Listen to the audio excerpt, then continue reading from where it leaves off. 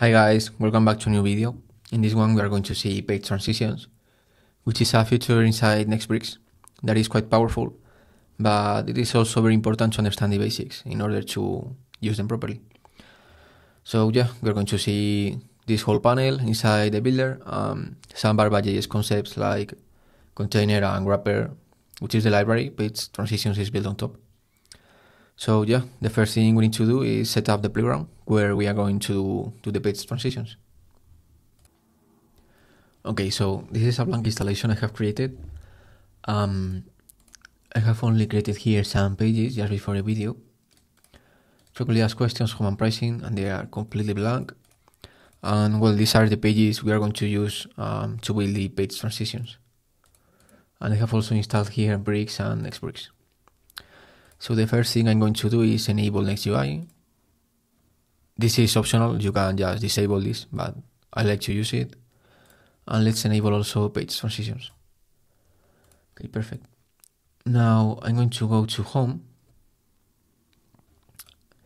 And instead of creating a whole website here from scratch, I'm going to just pick a template from Nextbricks. Um, maybe this one, template 6, copy and paste here. Okay, nice.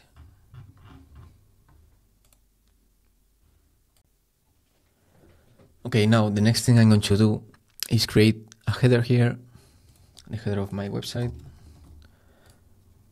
And I'm going to put here um, the sticky header that comes with the template and also the cursor so that it can be shared among all pages. Uh, this, I'm going to delete this one and this one. And now I'm going to divide the whole template into the pricing and frequently asked questions. So I'm pasting the pricing here and I'm going to give it some background, another one, and the same for frequently asked questions. And my background here. Okay. Now I can delete these ones. Okay, nice.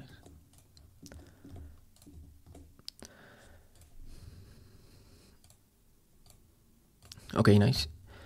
Now I'm going to create also the app here. I'm going to create the home and link it to the home. And same for the pricing and frequently asked questions.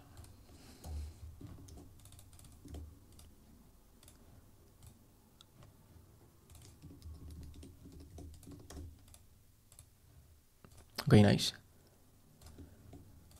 Now I'm going to close the header. Okay, perfect. Now the whole website is built, so we can start working with page transitions now. So let's open page transitions panel here. And this is what we have. Okay, so the most important thing about page transitions, and I would say this is the concept most people struggle with when working with them is the difference between container and wrapper. Um, the container is the element where I'm going to put all the elements that will be updated when going from one page to another. So in this case, I'm targeting the main. So everything inside the main will be updated.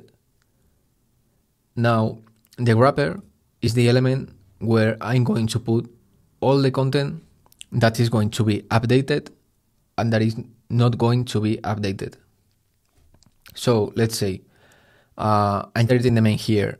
So everything inside the main will be updated. If I have a header, it will be outside the main but inside the body. So that header won't be updated. Um, this is uh, quite important in order to build the animations and the page transitions themselves for example, um, if I want to have all this hero section updated, this hero should be inside my container.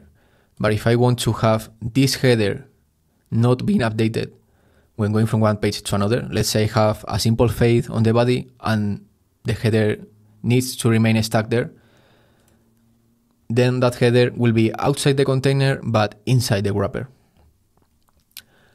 If you understood everything correctly, I mean the difference between container and wrapper, you should now already know that all the elements we need to animate inside our animations and that will make up the page transition animation, they all need to be outside the container and inside the wrapper so that they won't be updated. Now, in bricks, these elements have to be inside the header or inside a footer. We can't build, um, like if we are building a normal website in HTML, um, where we could just put a div outside the main. This is not the way WordPress works. So we need to build our page transition. I recommend it inside the header. So now I'm going to close page transitions panel. Let's save here and let's go to the header. Now, this whole header won't be updated when going from one page to another. So all my elements that will make the page transition animation need to go here. Okay, so what I wanted to build for this video was a simple slide. So let's put a block here um, and let's give it, um, let's say, slide wrapper and let's give it some styles. I mean, minimum height of 100 device height, 100% width, and let's give it also a background, a light gray one, for example. And let's make it fixed also so that when we go from one page to another and the user scrolls, this remains stuck there. A high theta index. And let's put it also here, top zero, left zero. And let's put some content inside also.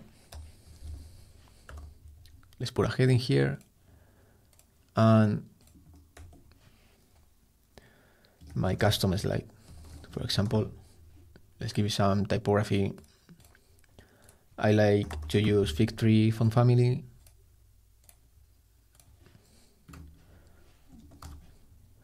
Like this, for example, um, some negative letter spacing a bigger weight.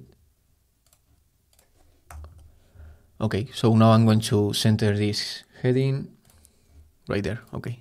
So I'm going to open again page transitions panel and let's start making here our animation. But I'm going to explain first the rest of properties we have here. Um, path from and path to are just properties to define a custom path. In case we build here um, many page transitions for custom pages, and we could define paths here and the pages would have a custom page transition. This is not the case as I'm loading this page transition everywhere, but if you want paths, you could define them here. Um, then we have the wait property, but we are going to see this later uh, once we have the animations built. Um, so let's start building animations. I'm going to target my slide here, and I'm going to give it first uh, some left here um, a minus 100% left. This is a slide, so I want it to come from left, for example. And let's give it one second duration, an expo easing, and animate it to a left zero so that it comes to the viewport. Okay, so we could we can see it here. There it is. and I'm going to animate the enter animation. I'm going to explain it now what is the leave and what is the enter. But I'm going to give one second duration, an expo easing, and I'm going to animate it to uh, 100% left. Okay, let's see what we build here. Okay, perfect. Now what is a leaf animation and an enter animation?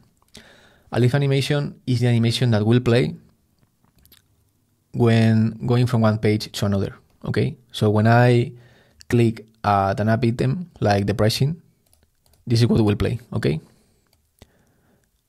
And it will remain here. This is the leaf animation. Right what will play when we leave the page. And once we leave the page and the next page is ready, then the entire animation will play. This. Okay? Well, now that we have finished our page transition, let's go to the front end and let's see if it worked. I'm going to save the panel here, the builder also, and let's go to the home page.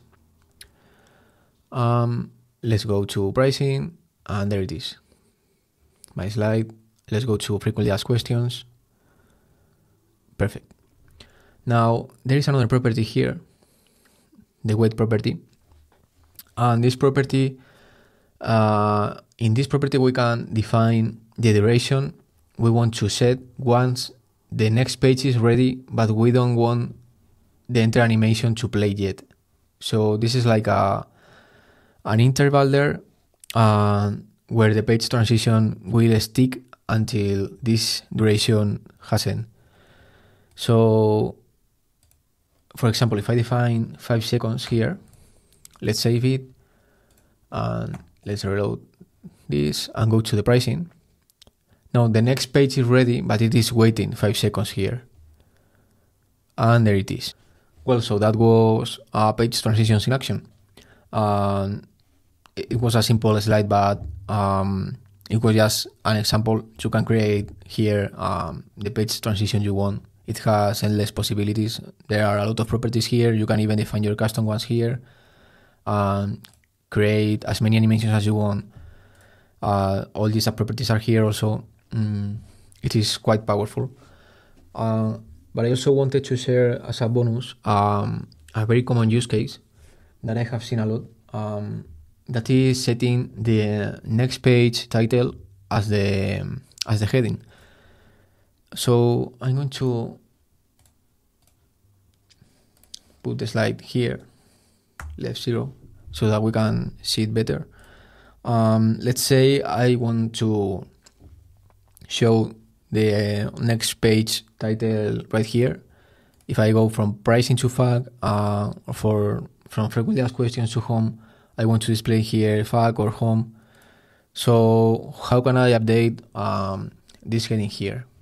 Well, uh, there are a lot of, of, possibilities to do so.